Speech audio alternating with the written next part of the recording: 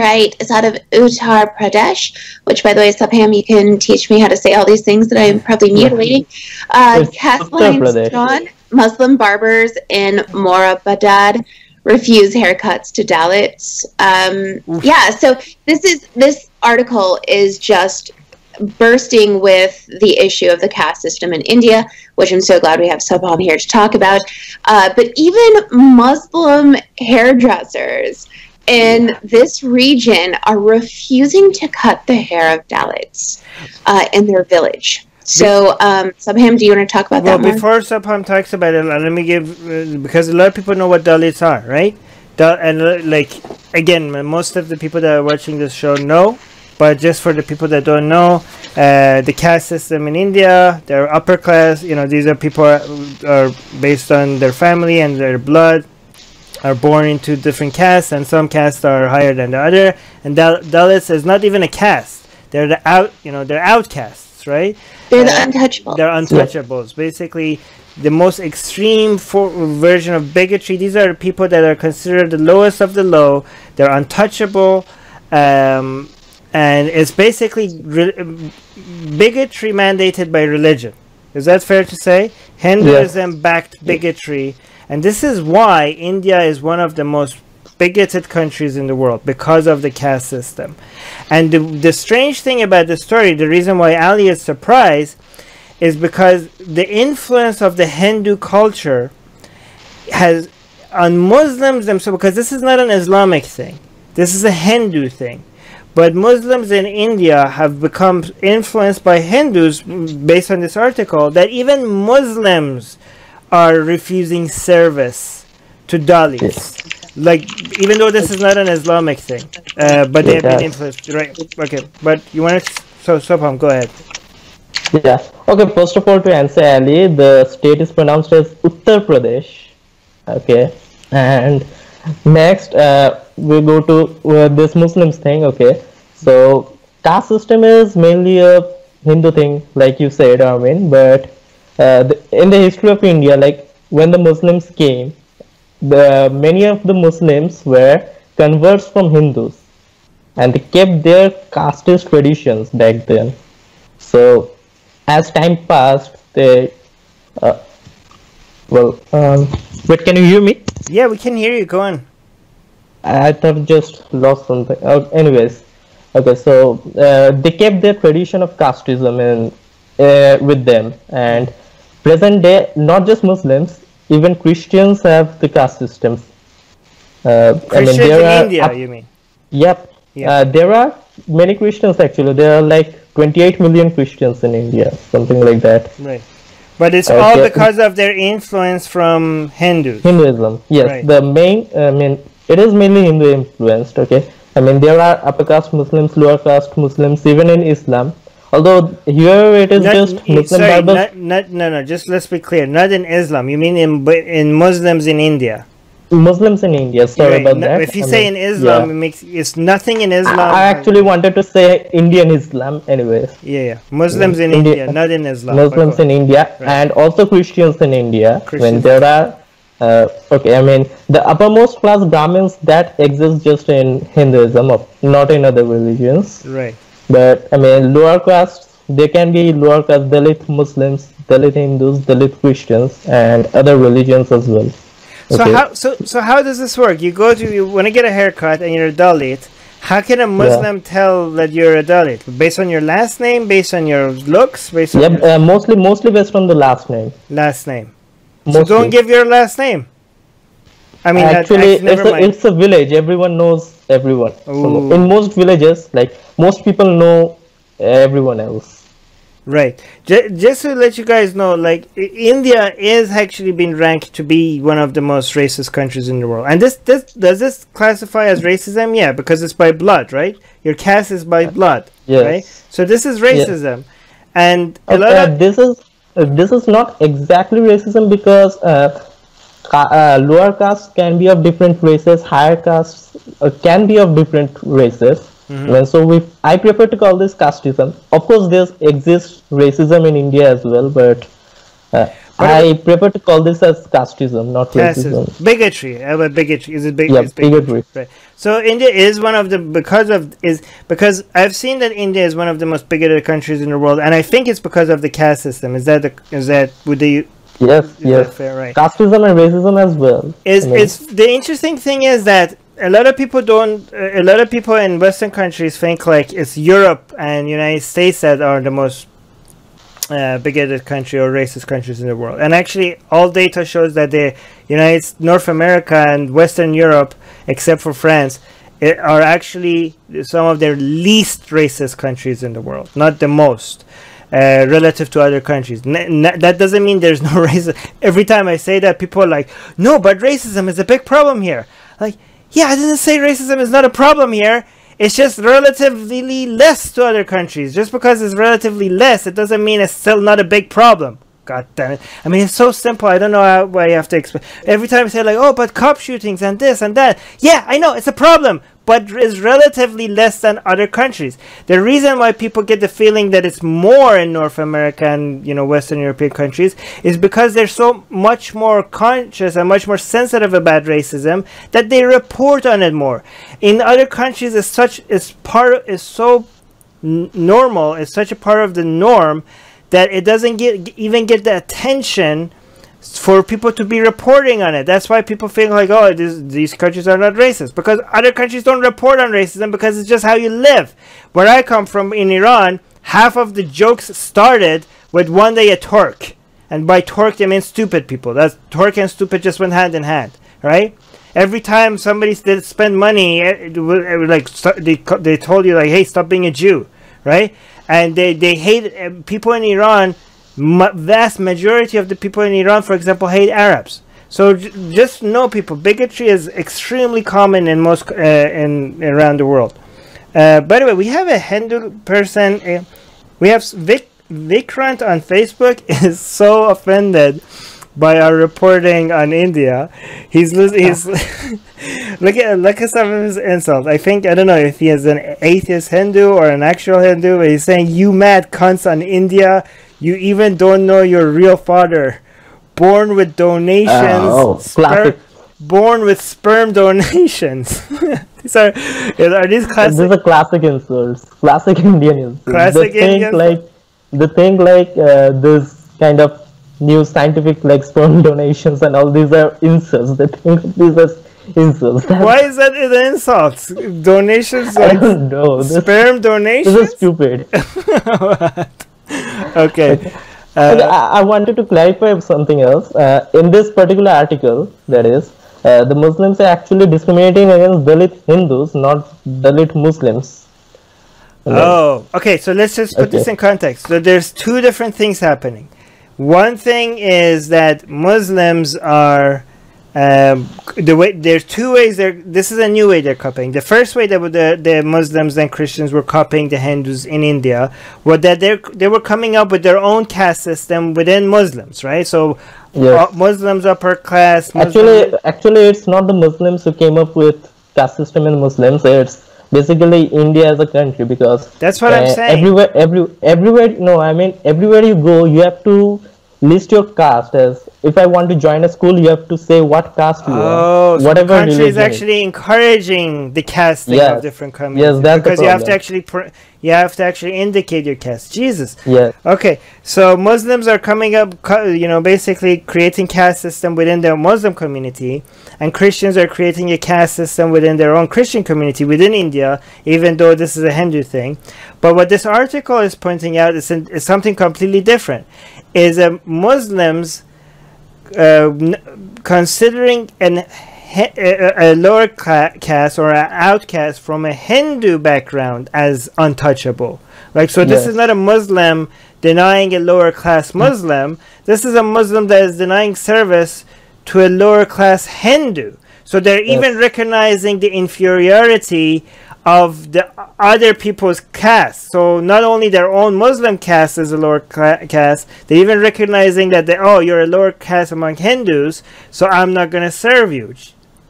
Yes. This is what, like what they say is if, if Dalit Hindus uh, come inside their shops, they will make everything dirty and then people from their own community will not visit them. That's their reasoning. What? Say that again. Uh, if Dalit Hindus enter their shops, like the barber shops, if hmm. Dalit Hindus enter those shops, then everything will become dirty just because they're untouchables. And, oh. and then what will happen is people from their own community will not want to come to the shop. So this is a more of a for this Muslim man. It might be more of a business decision rather than a bigotry decision. Right? Kind of, but it also it is influenced by bigotry. Yeah, it's influenced by bigotry, other people's bigotry. But for him, it might yeah. not be his bigotry. It might be him being influenced by other people's bigotry because he thinks that if I cut this man's hair, he's a Dalit, but my equipment, and he's sitting in my chair all these other potential Hindu customers are not going to come sit here knowing that my equipment touched a Dalit. Right? Yes. Yeah. This is so sad. But that could be just an excuse. I mean, oh, Okay, we don't, don't know. That could be just an excuse. It could be his own his bigotry, own bigotry. using that as an okay. excuse. So it's I mean, either it's either he's making a business decision, or maybe yeah. he's actually a bigot and he's just saying like, "Hey, I have no choice. I will go out yeah. of business if I serve you." Okay. Yeah, but it has also been revealed that other people from the village are also bigot as bigoted because uh, some other people said that uh, Hindus and Muslims have no uh, fights in that village particularly, but Dalits should stay with Dalits and Muslims should stay with Muslims. This is su- such a uh, white nationalist argument as well, right? White nationalists like with white nationalists. This is what uh, this is what they say. We don't we don't hate black people or Jews. We just think black people should stay with black people, Jews should stay with the Jews, and white people should be with white people. This is uh, that's the best way to live. And you hear now you're hearing the same thing in India, like we're not saying we hate this lower class people, even though we consider them lower caste. They like they, we just think they should be there in their own community, and we should be in our community.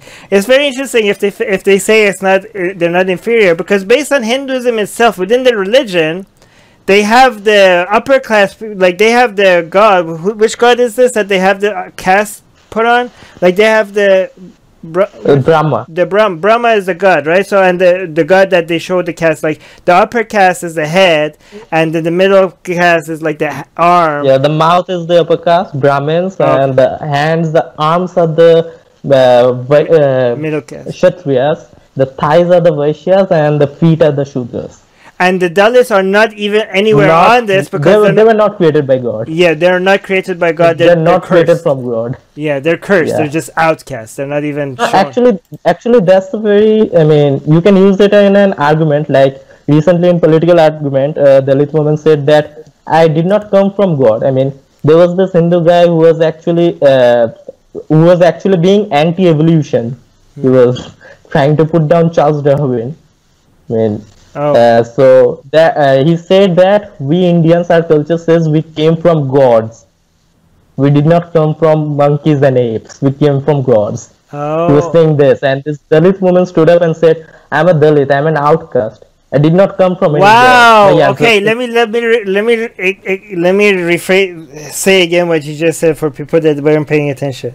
That's such a powerful comeback. So according, so we have different castes in India, and then we have one caste that is not technically a caste, is an outcast. So there's a hierarchy of caste, and then the Dalits, which are completely out of the caste system, they're untouchable, right?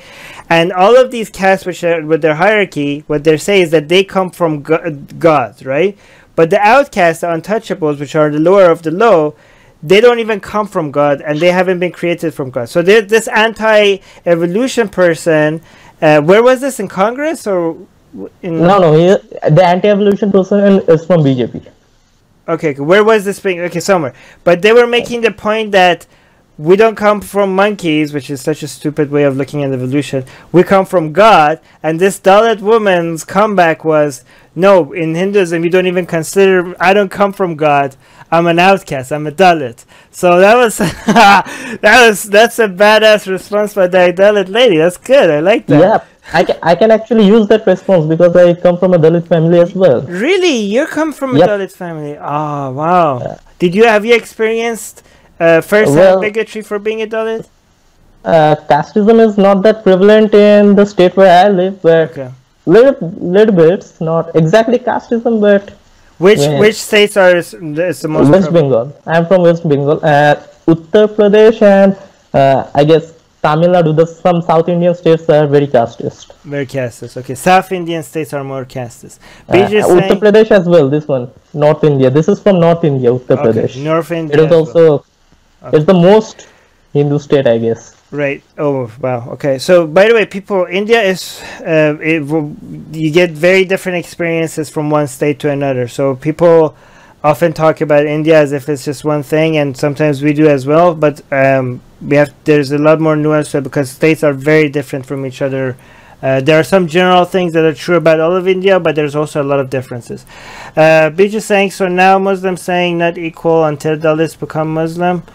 Um, I don't. Okay, so if a Dalit becomes a Mus converts to Islam, will Muslims still hold their Dalit background against them? Um, well, depends on the Muslim. Uh, depends on the Muslim community, I guess, because you still have to legally identify as uh, Dalit. Okay, so that will always. Actually, that is not the politically correct term anymore. Yeah. Uh, it's, it's called scheduled castes. Scheduled castes. Wait, wait, so when uh, you file applications and stuff, you actually have to put your caste down. Yeah, I mean, I I was I I'm from a Catholic school. I'm from a Catholic school, okay, hmm. and we still had to give our caste hmm. there. So just uh, think about it. Like Christian schools want your Hindu caste in their applications. Um, Truth Begets Heresy saying Western leftists have absolutely no clue about how the rest of the world uh, judges each other so naive, so incredibly convinced of their own victim victimology, it causes harm to real victims. Uh, truth begets heresy. I suggest not saying Western leftists because there are a lot of people on the left that are good. I usually, mm, I mean, some you know we have to say like maybe far um, I don't know regressive left. Some people use because there are a lot of people. I mean, Christy is here. Christy is a, a lefty and you know a lot of people recognize these things and are knowledgeable but there are good lot of good people on the left a lot of good people on the right. Let's just make sure that we don't um, make a claim about the entire left or about the right because of the crazies that they have uh, or the yeah not crazy maybe ignorant. Uh, Bernita is saying Bernita yeah isn't the caste system based on the reincarnation and therefore a blasphemy in Islam it's not based on reincarnation, it's based on Brahma, right? The god. But well, it should be eh, a blasphemy in Islam, but these Muslims are not, not a minority in India, so they don't get to call it out as blasphemy, I guess, right? So reincarnation in Hinduism is actually it gives birth to sexism. I mean, if you do bad well, things in this life, well, you will get. That, let's not yeah. get into that. Uh, yeah, yeah. No, but yeah, I mean, t- you're right, Bernie. To actually, if these Muslims are being true to their Islam, they shouldn't be. I mean, the fact being anti-caste, um, being against the caste system, was a major selling point for a lot of converts to Islam in India because these Muslims. You're right. If these Muslims were being true to their uh, religion, they should not at all recognize the caste system at all. Um, I mean, is, Islam itself have, has its own tribalism, but it doesn't have any racism or bigotry uh, built within it. Okay, again, Islam has a lot of problems, and Muslims have a lot of racism. There's a lot of racism experienced in the Muslim world, but within the text of Islam itself, there's not any racism. There is a different kind of tribalism that is encouraged, which Muslims are superior to non-Muslims which is also bullshit. But once you once you're a Muslim, you should be equal to all other Muslims. So uh, it's a very good um, selling point to get Dalits to convert to Islam because they were the lowest of the low. But if they convert to Islam, now they're equal to all their Muslims brothers and sisters in the- in theory. Because in practice, people still treat you like shit, right? Um, you know, again, like in theory, Muslims are supposed to all be equal, but Arabs treat like Pakistani and brown Muslims like inferior, right? So in practice it's different, but from in theory there's nothing that encourages racism in Islam. So, but you're right. This, I mean, you're pointing out that the this what this Muslim man is doing in as, as un-Islamic, but Muslims do a lot of un-Islamic shit that is not according to Islam. So it's not it's not it's nothing new. Atheists are under attack in many places. If they were Christians, their voices would be heard. If they were Jews, their voices would be heard. If they were Muslims, their voices would be heard. But they are atheists, and not many seem to be listening. Let's make it difficult for them to ignore us.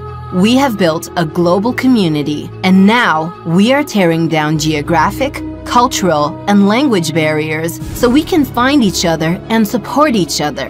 In the last decade, we have built the largest atheist community in the world. Now we're doing the same in other languages. With your help, we have started Atheist Republic in Persian and Arabic.